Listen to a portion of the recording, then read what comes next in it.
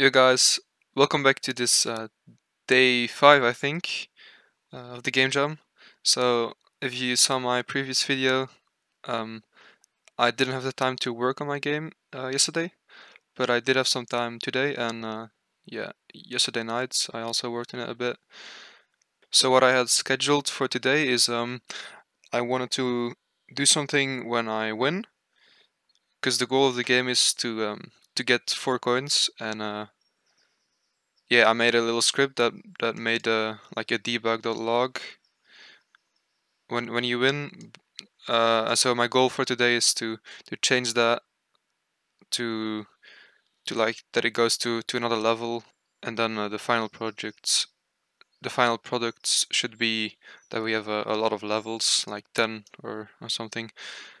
Uh, and then I can upload it because tomorrow the game has got to go in. Uh, what what I still have to do is uh, is the the levels. I have to make more levels.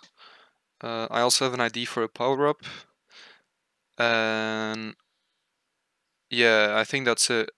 Oh, I also want to make a a restart a restart menu or something.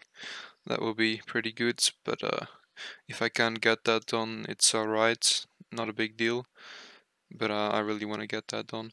Um, so I have school today, which will take about half of my day away, which sucks, but oh well. Um, also gym. Alright, but um, here's what I did today.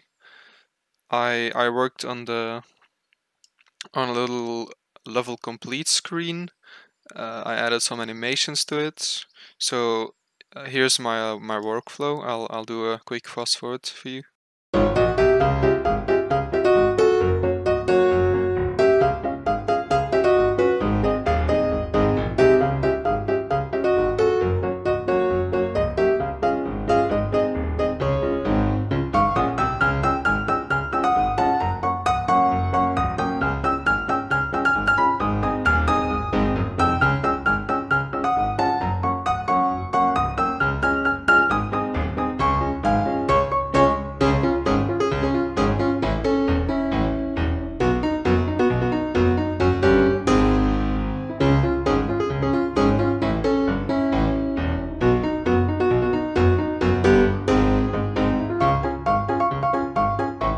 So basically what I did uh, for the level completes screen and animation is I I made it so that when the animation runs and it hits a certain point in the animation, it will get the next level in the build index of Unity, as you can see here, and and it will load that level and just play it, and then that's how uh, how you will be able to always go to the next level when you have completed one.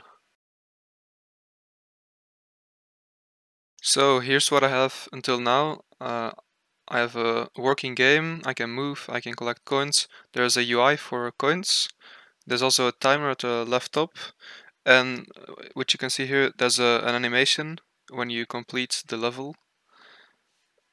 And when that animation is complete, the next level gets rendered uh, and the next level is just a little bit different. You also have to collect four coins. The animation comes, level complete, and then the next level should come. So that's what I have right now. What I have, what I will still add is a, uh, as I said before, the the power up and of course more levels and maybe a uh, a real menu where you can select things I've never done a, a real menu before, so that that would be pretty cool. But yeah, thanks for watching, guys. I hope I'll see you tomorrow in the final day of this uh, awesome game jam. I, I really enjoyed it until now. It it, it really helped me uh, develop certain skin skills that I hadn't uh, before. One more thing, really quick. Um, tomorrow, I'm not sure if I will be able to upload a video because I will go check out uh, my future school.